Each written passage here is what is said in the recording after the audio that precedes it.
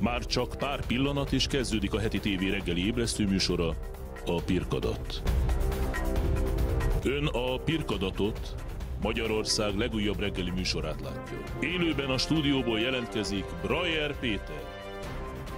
A Pirkadat mai vendége Szakács László, az MSZP politikusa, Jó reggel. Jó reggelt! majdnem országgyűlési képviselő.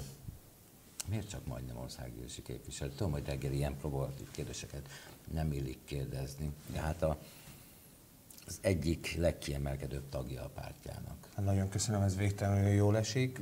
Kettővel előttem állt meg a lista, és uh, utána Gőgör Zoltán lemondása, illetve az, hogy nem vette át a mandátumát, az ugye még mindig nem én következtem, hanem Harangozó Tamás volt az, aki bekerült a frakcióba. Én úgy gondolom, hogy ő is kiválóan végzi a munkáját, de én sem távolodok el a politikától, tehát hogy így mondjam, egy kicsit viccesen az az apróság, hogy nem kerültem be a parlamentbe, az engem ettől nem fog visszatartani. Találkoztam is néhány ünnepségen, egy-kettő Fideszes országgyűlési képviselő mondta nekik, hogy ilyen könnyen azért nem szabadulnak meg tőlem. Nyilvánvalóan politizálni fogok a megyémért, a városokért, és természetesen a baloldali szavazók. Ügyvédi irodáját újra nyitotta? Nem más terveim vannak. No. Értem. Ö, választások után mindenki kongresszust tart. Ez önöknek hányadik kongresszusa lesz? Most jót kérdezett. Az MSZP az még nem tartott, mint Ha- az LMP közel sem. 30 valahányadik, nem ja, mert tudom, az én nem úgy a számolom. 62. Igen, Én és mindig- az mindig LMP akkor az nem láttam a a- rendszerváltás előtt alakult. Így van. Én mindig akkor látom ezt, csak amikor kiküldik a dokumentációját, hogy ez most éppen hanyadik, nem tudom, hogy jól jegyeztem-e meg, De a megyében melyik volt a legutolsó. elnök, ugye? Én elindulok mindenféleképpen a megyei tisztújításon, a megyei elnöki pozícióért, és hát bízom benne egyébként, hogy országos pozíciót is Még be lehet vállalni. jelentkezni pártelnöknek is. Van-e ingerenciája erre? Pártelnöknek nincsen. Én nem De országos pozícióért. Országos indul. pozícióra fogok jelentkezni egészen biztosan. Elő fogok készíteni pályázatot. Eh, Ugye nálunk pályázati rendszer van, utána a jelölőbizottság előtt ezt a pályázatot úgymond meg kell védeni, és azt követően kerülhet az ember a kongresszus elé. Országos pályázatot is fogok előkészíteni, és a megyei elnöki pozícióért is el fogok indulni. Mondtam én, hogy nem adja könnyen fel. Nem, nem is fogom. Öt vagy hat jelöltje van már, elnök, elnök jelöltje van már a MSZP-nek. Nekem Én mindig tegnap öt- este még öt volt. Én mindig ötöt hallok, már hallottam olyat is, aki már olvasta az öt pályázatot, és szerintem még senki nem adta le. Én úgy gondolom, hogy ez a De az aláírás gyűjtéseket megkezdték. Azokat megkezdték, hát az aláírás gyűjtő, az aláírás gyűjtő évek, van, azok, ugye? azok kint vannak. Az ötben igen. Azt nem tudom, hogy ő tudja, hogy ő annyira komolyan indul-e, de Hát ő már évek óta indulni. indul. Hmm, én nem, nem gondolom, hogy a, a... Hogyha a feladata nincs jobb jelölt, akkor ő elvállalja. Igen, ezt a mondatot hallottam én is tőle. Ez annyit jelent, hogy a párt öt felé fog szakadni? Nem hiszem, hogy öt felé fog szakadni Nem, ez már a párt. volt azért most, sok eh, jelölt. hogyha ezt komolyra fordítjuk, azért a, a Magyar Szocialista Pártnak ezután a választás után eh, nem azt mondom, hogy sorsfordító, nem azt mondom, hogy sorsfordító, de mindenféleképpen egy nagyon-nagyon fontos időszak elé néz a párt, ahol vidéken meg kell erősödnünk, mutatni kell magunkat, láthatóvá kell válnunk, a beágyazottságunkat növelni kell, a belső kohéziót az összetartó előtt növelni kell, egy csatornássá kell tenni a kommunikációt, egy Elnézést, csatornássá ez kell mind tenni nagyon ezeket. szép, de 2010 óta ezt halljuk. És én úgy gondolom, hogy volt egy időszak, amikor ez nagyon jól működött. Csak éppen nem a 2-3 választások százalékra- idején. 2-3 százalékra voltunk a Fidesztől, így van. Sajnos nem a választások idején.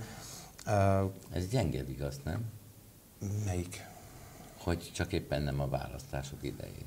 Um, azért ne felejtsük el, 2012-ben például, amikor 2-3 százalékra voltunk a Fidesztől, akkor gyorsan meg is változtatták egyébként a választójogi törvényt. Átrajzolták az összes választókerületet, egy fordulósá tették a Lehet, hogy választásokat. ők időben reagálnak az eredményekre, nem úgy, mint önök. A, erre szerintem nem lehet reagálni, hát azért lássuk be, akkor még olyan is volt, hogy regisztrációs kampányt kellett volna csinálni, regisztrálni kellett volna annak, aki Igen, de egyébként is benne van. 18-ban már nem írtak át semmit, és 18-ban nem 2-3 százalékra voltak itt- a Fidesztől. Akkor egészen biztosan Készülnek nem. már az Európai Uniós választásokra?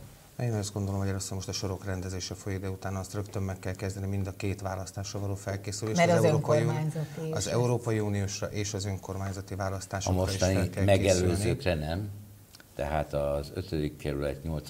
kerület, 15. 15. Záhony, és sorolhatnám tovább. De hogy közel 10 ezekről ugye látják is a híreket, tehát folyik a jelölteknek a kiválasztása, folyik a kampányra való felkészülés.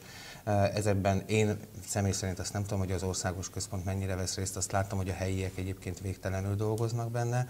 Nyilvánvalóan Budapesten nagyobb esélye van a baloldalnak, azt látjuk, viszont vidéken pedig ezeket az esélyeket meg kell teremteni, ahogyan mi ezt tettük egyébként Pécsett is, ahol egy civil jelölt mögé pártok, civil szervezetek fel tudtak sorakozni, és ott az egyik választókerületben Pécset, az egyik emblematikus figuráját a Fidesznek sikerült legyőznie Mellár Tamásnak, akinek a személyében mégiscsak egy akadémikus De Komló, ami hagyományosabb munkásváros volt ott, például milyen a baloldal?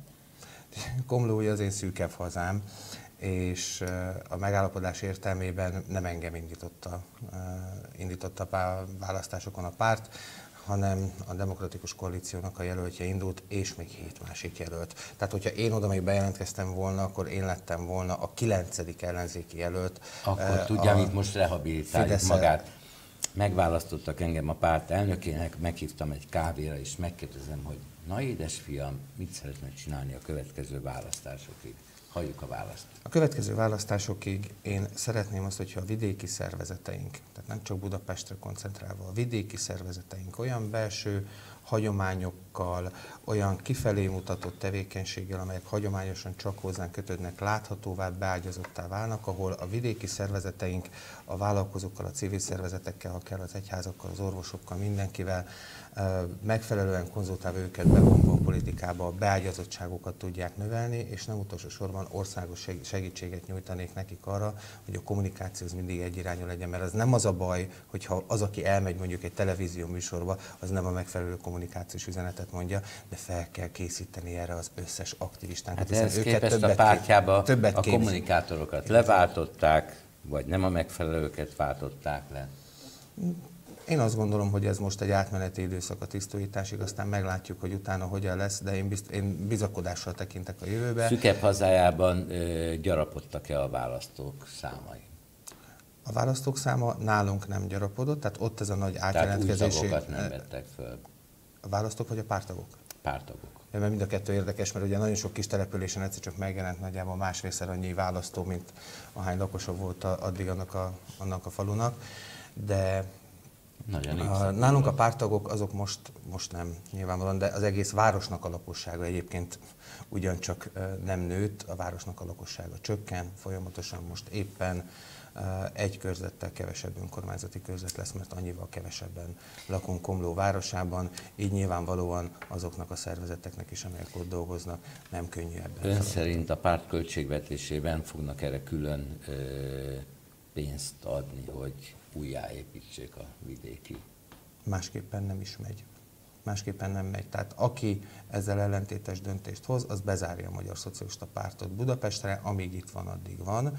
Ez egészen biztos, hogyha ez forrást, megfelelő technikai tudást, és nem utolsó sorban nagyon sok, nagyon egyszerű hétköznapi munkát, nincsen csoda fegyver. Végig kell járni a településeket, mi ezt tettük a kampányban is, egy hónap alatt 43-44 helyre mentem el, így tettek egyébként sokan a társaim is. Ha ott vagyunk, az nyilvánvalóan eleve ad egy lökést az ottani aktivistáknak, a választóknak, híre megy, sokkal többet Na kell akkor most segítsen nekem, mert most sikerült teljesen összekeverni. A választások után láttuk az országos térképet.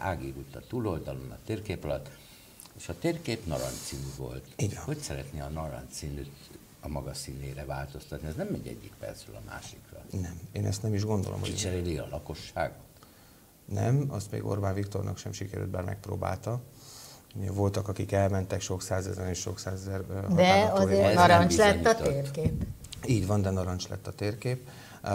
Én nem csak annyiban fogalmaznám ezt meg, hogy jelenléttel kell egyébként, persze azzal is, jelen kell lenni a, a településeknek az életébe, ott azoknak a véleményformáló embereknek a bizalmát meg kell nyerni, akiket ott ismerünk, azokat a szervezeteket fel kell építeni, és hozzánk köthető olyan teljesítményt kell mindig felmutatni, és olyan eseményeket kell felmutatni, amitől láthatóak vagyunk, belső kohézió, az, ami nagyon fontos, hogy belül ne a széthúzás legyen az, ami mindenkinek eszébe jut a De hát szocialista elnézést pártról. a választások előtti hónapokban széthúzást láttunk, rossz kommunikációt láttunk, Ági. kapkodást láttunk. Ági, mi a véleményed arról?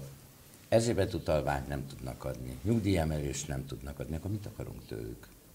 Hát azért akarhatunk nagyon sok minden Jobb egészségügyet nem tudtak, nem tudnak. De, De akár jobb, jobb oktatást nem tudnak. De, akár Mindegyikről én tudhatnak. azt gondolom, hogy van eléggé komoly véleményünk. Sajnos egyébként ezekben a kérdésekben, Hát például erre a van akkor most kommunikáció... négy évük, hogy ilyen árnyék kormány formájában ezeket elméletben megvalósítsák. meg fogja találni a megfelelő formáját, de például itt a kommunikáció kérdésében az, hogy ne beszéljünk a menekült ügyről, mert hogy nem mi emeljük, az, az egy nyilvánvalóan hibás döntés volt.